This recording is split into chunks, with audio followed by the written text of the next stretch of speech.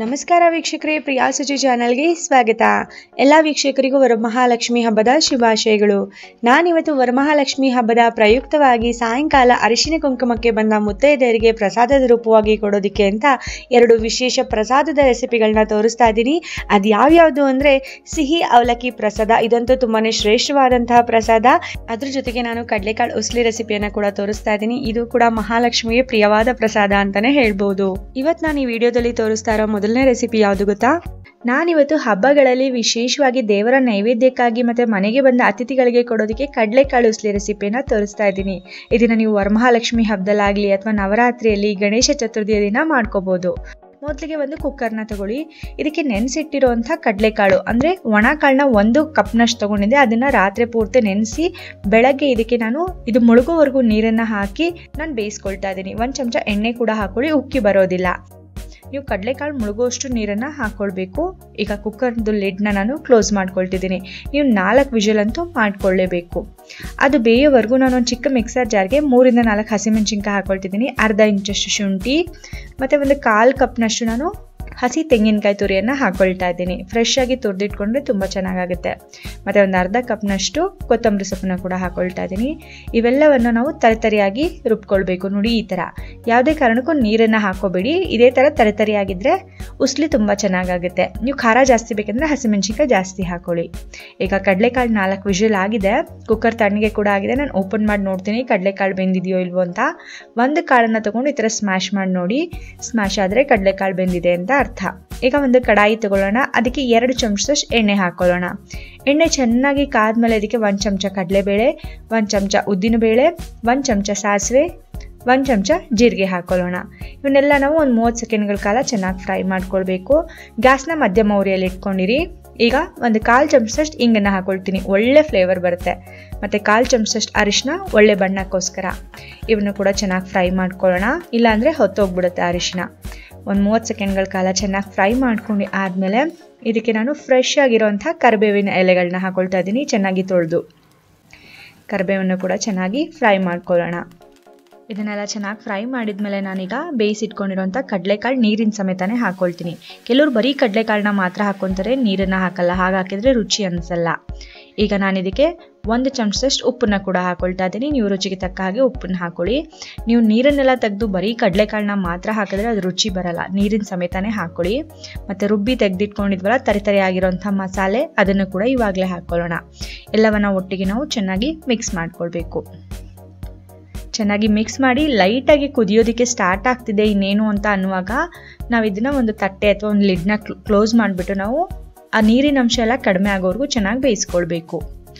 ನೋಡಿ, ಈ ಥರ. ಇನ್ನೇನು ನೀರೆಲ್ಲ ಕಡಿಮೆ ಆಗ್ತಿದೆ ಇನ್ನು ಸ್ವಲ್ಪನೇ ನೀರು ಉಳಿದಿದೆ ಅನ್ನೋ ಟೈಮ್ಗೆ ನಾವು ಈ ರೀತಿಯಾಗಿ ಕೈ ಆಡಿಸ್ಕೊಳ್ತಾ ಬೇಯಿಸ್ಕೊಳ್ಳೋಣ. ನೀವು ಈ ಥರ ಕಂಟಿನ್ಯೂಸ್ ಆಗಿ ಸ್ಪೂನಿಂದ ನೀವು ಮಿಕ್ಸ್ ಮಾಡ್ಕೊಳ್ತಾ ಬೇಯಿಸ್ಕೊಳ್ಳುವಾಗ ನಿಮಗೆ ಗೊತ್ತಾಗುತ್ತೆ, ನೀರಿನ ಅಂಶ ಪೂರ್ತಿಯಾಗಿ ಕಡಿಮೆ ಆಗ್ತಾ ಇದೆ ಅಂತ. ಈ ಟೈಮ್ನಲ್ಲಿ ನೀವು ಒಂದು ಅರ್ಧದಷ್ಟು ನಿಂಬೆ ರಸವನ್ನು ಹಾಕ್ಕೊಳ್ಳಿ ತುಂಬ ಚೆನ್ನಾಗಿ ಅನಿಸುತ್ತೆ. ನಿಂಬೆ ರಸ ಆಪ್ಷನಲ್ ನಿಮಗೆ ಬೇಕಿದ್ರೆ ಹಾಕ್ಕೊಳ್ಳಿ ಇಲ್ಲಾಂದರೆ ಸ್ಕಿಪ್ ಕೂಡ ಮಾಡ್ಕೊಳ್ಬೋದು. ಈಗ ಒಂದ್ಸಲ ಚೆನ್ನಾಗಿ ಮಿಕ್ಸ್ ಮಾಡ್ಕೊಳ್ಳೋಣ. ರುಚಿ ರುಚಿಯಾಗಿರೋಂಥ ಕಡಲೆಕಾಳು ಉಸ್ಲಿ ರೆಡಿಯಾಗಿದೆ. ದೇವರ ನೈವೇದ್ಯಕ್ಕಾಗಿ ಮತ್ತು ಮನೆಗೆ ಬಂದ ಅತಿಥಿಗಳಿಗೆ ಪ್ರಸಾದದ ರೂಪವಾಗಿ ನೀವು ಕೊಡಬಹುದು. ತುಂಬಾ ಚೆನ್ನಾಗಿರುತ್ತೆ. ಈ ರೀತಿಯಾದ ದೊನ್ನೆಗಳಲ್ಲಿ ನೀವು ಪ್ರಸಾದವನ್ನು ಕೊಟ್ಟರೆ ನೋಡೋದಕ್ಕೂ ತುಂಬ ಚೆನ್ನಾಗಿ ಕಾಣುತ್ತೆ. ನಿಮ್ಗೆಲ್ಲರಿಗೂ ಇವತ್ತು ನಾನು ತೋರಿಸಿರೋಂಥ ವರಮಹಾಲಕ್ಷ್ಮಿ ಮತ್ತು ಗಣೇಶ ಚತುರ್ಥಿಯ ವಿಶೇಷ ಕಡಲೆಕಾಳು ಉಸ್ಲಿ ರೆಸಿಪಿ ಇಷ್ಟ ಆಗಿದೆ ಅಂತ ಅಂದ್ಕೊಳ್ತೀನಿ ಇಷ್ಟ ಆಗಿದ್ರೆ ಪ್ರಿಯಾ ಸುಚಿ ಚಾನಲ್ಗೆ ಲೈಕ್ ಮಾಡಿ. ಇನ್ನೂ ಹೆಚ್ಚಿನ ಹೊಸ ಹೊಸ ರೆಸಿಪಿಗಳಿಗಾಗಿ ನಮ್ಮ ಚಾನಲ್ನ ಸಬ್ಸ್ಕ್ರೈಬ್ ಮಾಡ್ಕೊಳ್ಳಿ. ಇವತ್ತಿನ ಎರಡನೆಯ ಪ್ರಸಾದದ ರೆಸಿಪಿ ಅವಲಕ್ಕಿ ಸಿಹಿ ಪ್ರಸಾದ. ಇದನ್ನ ಪಂಚಕಜ್ಜಾಯ ಅಂತ ಕೂಡ ಕರೀತಾರೆ. ಇದನ್ನ ಮಾಡೋದಕ್ಕೆ ಏನೆಲ್ಲ ಸಾಮಗ್ರಿಗಳು ಬೇಕು ಅಂತ ನೋಡ್ಕೊಳ್ಳೋಣ. ಎಲ್ಲದಕ್ಕಿಂತ ಮುಂಚೆ ಪೇಪರ್ ಅವಲಕ್ಕಿ ಅಂದರೆ ತೆಳು ಅವಲಕ್ಕಿನ ನಾನು ಇನ್ನೂರೈವತ್ತು ಗ್ರಾಮ್ನಷ್ಟು ತೊಗೊಂಡಿದ್ದೀನಿ. ಕಪ್ಪಿನ ಅಳತೆಯಿಂದ ಮೂರು ಕಪ್ನಷ್ಟು ತೊಗೊಂಡಿದ್ದೀನಿ.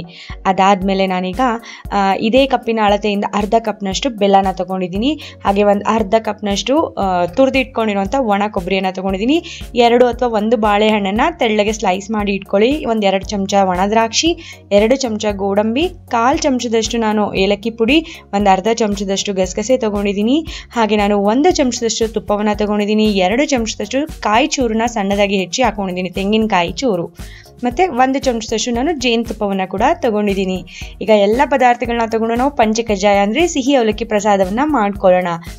ಈ ಅವಲಕ್ಕಿ ಪ್ರಸಾದ ಮಾಡ್ಕೊಳ್ಳೋದಕ್ಕೆ ಮೊದಲಿಗೆ ಒಂದು ಕಡಾಯಿಗೆ ಒಂದು ಅರ್ಧ ಕಪ್ನಷ್ಟು ಬೆಲ್ಲವನ್ನು ಕುಟ್ಟಿ ಹಾಕೊಳ್ಬೇಕು.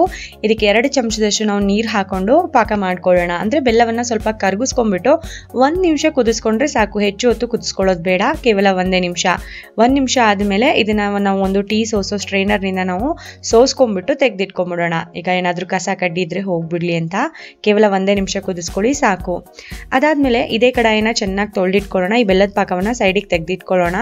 ಇದೇ ಕಡಾಯಿಗೆ ನಾನೀಗ ಒಂದು ಚಮಚದಷ್ಟು ತುಪ್ಪವನ್ನು ಹಾಕೊಳ್ತಾ ಇದ್ದೀನಿ. ತುಪ್ಪ ಕರಗಿದ ತಕ್ಷಣ ಇದಕ್ಕೆ ಎರಡು ಚಮಚದಷ್ಟು ಗೋಡಂಬಿ ಹಾಕೊಳ್ತಾ ಇದ್ದೀನಿ ಗೋಡಂಬಿಯನ್ನು ಚೆನ್ನಾಗಿ ಹುರ್ಕೊಳ್ಬೇಕು. ಸ್ವಲ್ಪ ಗೋಲ್ಡನ್ ಕಲರ್ ಬರ್ತಾ ಇದ್ದಂಗೆ ನಾವೀಗ ಒಣ ದ್ರಾಕ್ಷಿನ ಕೂಡ ಸೇರಿಸ್ಕೊಳ್ಳೋಣ. ಈಗ ಒಣ ದ್ರಾಕ್ಷಿನ ಕೂಡ ಚೆನ್ನಾಗಿ ಹುರ್ಕೊಳ್ಳೋಣ. ಅದು ಸ್ವಲ್ಪ ಚೆನ್ನಾಗಿ ಉಬ್ಬಿ ಬರೋವರೆಗೂ ಚೆನ್ನಾಗಿ ಹುರ್ಕೊಳ್ಬೇಕಾಗುತ್ತೆ. ಇದಕ್ಕೆ ನಾನು ತೆಂಗಿನಕಾಯಿ ಚೂರನ್ನು ಕೂಡ ನಾನು ಹಾಕೊಳ್ತಾ ಇದ್ದೀನಿ ತೆಂಗಿನಕಾಯಿನ ಸಣ್ಣದಾಗಿ ಕತ್ತರಿಸಿ ಅದನ್ನು ಕೂಡ ಹಾಕಿ ಹುರ್ಕೊಳ್ಳಿ. ಅರ್ಧ ಚಮಚ ಗಸಗಸೆಯನ್ನು ಕೂಡ ಹಾಕೊಂಡಿದ್ದೀನಿ ಅರ್ಧ ಕಪ್ನಷ್ಟು ಒಣ ಕೊಬ್ಬರಿ ತುರಿ, ಒಂದು ಕಾಲು ಕಪ್ನಷ್ಟು ಕೂಡ ಹಾಕೊಂಡ್ರೆ ನಡೆಯುತ್ತೆ. ನಿಮ್ಮ ಇಚ್ಛೆಗೆ ಅನುಸಾರವಾಗಿ ಹಾಕೊಳ್ಳಿ. ಒಳ್ಳೆ ಗೋಲ್ಡನ್ ಬ್ರೌನ್ ಕಲರ್ ಬರೋ ತನಕ ಹುರ್ಕೊಳ್ಳಿ, ಒಳ್ಳೆ ಸುವಾಸನೆ ಬರ್ತಾ ಹೋಗುತ್ತೆ. ಈಗ ಒಂದು ಅರ್ಧ ಚಮಚ ಏಲಕ್ಕಿ ಪುಡಿ ಹಾಕೊಂಡಿದ್ದೀನಿ. ಹಾಗೆಯೇ ಸೋಸಿ ತೆಗೆದಿಟ್ಕೊಂಡಿರೋಂಥ ಆ ಬೆಲ್ಲದ ಪಾಕವನ್ನು ಕೂಡ ಹಾಕೊಳ್ತಾ ಇದ್ದೀನಿ ಬೌಲ್ಗೆ ಸ್ವಲ್ಪ ಬೆಲ್ಲದ ಪಾಕ ಅಂಟ್ಕೊಂಡಿದ್ರೆ ಒಂದು ಎರಡು ಚಮಚ ನೀರನ್ನು ಹಾಕಿ ಚೆನ್ನಾಗಿ ತೊಳೆದ್ಬಿಟ್ಟು ಹಾಕೊಳ್ಳಿ. ಹಾಕೊಂಡು ಇದಕ್ಕೆ ಮಿಕ್ಸ್ ಮಾಡ್ಕೊಂಡು ಒಂದು ನಿಮಿಷ ಕುದಿಸ್ಕೊಂಡ್ರೆ ಸಾಕು. ಒಂದು ನಿಮಿಷ ಆದಮೇಲೆ ಇದಕ್ಕೆ ನಾನು ಕಾಲು ಕೆ ಜಿಯಷ್ಟು ಅವಲಕ್ಕಿ ತೆಗೆದಿಟ್ಕೊಂಡಿದ್ನಲ್ಲ, ಅದನ್ನು ಹಾಕೊಳ್ತೀನಿ. ಒಟ್ಟಿಗೆ ಹಾಕೊಳ್ಳೋದು ಬೇಡ. ಸ್ವಲ್ಪ ಸ್ವಲ್ಪ ಹಾಕೊಂಡು ನಿಧಾನವಾಗಿ ಮಿಕ್ಸ್ ಮಾಡ್ಕೊಳ್ಳೋಣ. ಇಷ್ಟು ಪಾಕ ಇಷ್ಟು ಅವಲಕ್ಕಿಗೆ ಸರಿಯಾಗಿ ಹೊಂದುತ್ತೆ. ನಿಧಾನವಾಗಿ ಸ್ವಲ್ಪ ಸ್ವಲ್ಪ ಹಾಕ್ಕೊಂಡು ಮಿಕ್ಸ್ ಮಾಡ್ಕೊಳ್ಳೋಣ. ಕೊನೆಯಲ್ಲಿ ಗ್ಯಾಸ್ ಫ್ಲೇಮ್ನ ಆಫ್ ಮಾಡಿಬಿಟ್ಟು ಒಂದು ಚಮಚದಷ್ಟು ಜೇನುತುಪ್ಪ ಹಾಕ್ಕೊಳ್ಳಿ ಈ ಪ್ರಸಾದಕ್ಕೆ ಜೇನುತುಪ್ಪ ತುಂಬಾ ಶ್ರೇಷ್ಠವಾಗಿರುತ್ತೆ ಮತ್ತು ರುಚಿ ಕೂಡ ತುಂಬಾ ಚೆನ್ನಾಗಿ ಬರುತ್ತೆ. ನೀವು ಎಕ್ಸ್ಟ್ರಾ ಒಂದು ಚಮಚ ಬೇಕಾದರೂ ಹಾಕ್ಕೊಳ್ಬೋದು ಒಂದು ದೊಡ್ಡ ಬಾಳೆಹಣ್ಣನ್ನ ಈ ರೀತಿಯಾಗಿ ಸ್ಲೈಸ್ ಆಗಿ ಕಟ್ ಮಾಡಿಕೊಂಡು ನೀವು ಹಾಕ್ಕೊಳ್ಳಿ ಚೆನ್ನಾಗಿರುತ್ತೆ. ಬಾಳೆಹಣ್ಣು ಕೂಡ ನೀವು ಹೆಚ್ಚು ಬೇಕಾದರೆ ಹೆಚ್ಚು ಹಾಕ್ಕೊಳ್ಬೋದು ಎಲ್ಲವನ್ನ ಚೆನ್ನಾಗಿ ಮಿಕ್ಸ್ ಮಾಡಿದ್ಮೇಲೆ ರುಚಿ ರುಚಿಯಾದ, ಶ್ರೇಷ್ಠವಾದ ಪ್ರಸಾದ ಪಂಚಕಜಯ ತಯಾರಾಗಿದೆ. ಈ ಸಿಹಿ ಅವಲಕ್ಕಿ ಪ್ರಸಾದವನ್ನು ನೀವು ಕೇವಲ ಶ್ರೀ ವರಮಹಾಲಕ್ಷ್ಮಿ ಹಬ್ಬಕ್ಕೆ ಮಾತ್ರವಲ್ಲ, ನೀವು ಶ್ರೀಕೃಷ್ಣ ಜನ್ಮಾಷ್ಟಮಿ ಹಬ್ಬಕ್ಕೂ ಕೂಡ ಮಾಡ್ಕೊಳ್ಬೋದು, ಗಣೇಶ ಚತುರ್ಥಿಗೂ ಕೂಡ ಮಾಡ್ಕೊಳ್ಬೋದು, ತುಳಸಿ ಹಬ್ಬಕ್ಕೂ ಕೂಡ ಮಾಡ್ಕೊಳ್ಬಹುದು. ಆದರೆ ಈ ಸಲ ವರಮಹಾಲಕ್ಷ್ಮಿ ಹಬ್ಬಕ್ಕೆ ಈ ವಿಶೇಷ ಕಡಲೆಕಾಳು ಉಸ್ಲಿ ಮತ್ತು ಈ ಅವಲಕ್ಕಿ ಪ್ರಸಾದವನ್ನು ನೀವು ಮಾಡಿ ಮನೆಗೆ ಬಂದ ಅತಿಥಿಗಳಿಗೆ ಪ್ರಸಾದದ ರೂಪವಾಗಿ ಕೊಡಿ ಅಂತ ಹೇಳ್ತಾ ಇವತ್ತಿನ ಈ ವಿಡಿಯೋನ ನಾನು ಮುಗಿಸ್ತಾ ಇದ್ದೀನಿ. ಮತ್ತೆ ಮುಂದಿನ ವಿಡಿಯೋದಲ್ಲಿ ಭೇಟಿ ಆಗ್ತೀನಿ ಧನ್ಯವಾದಗಳು.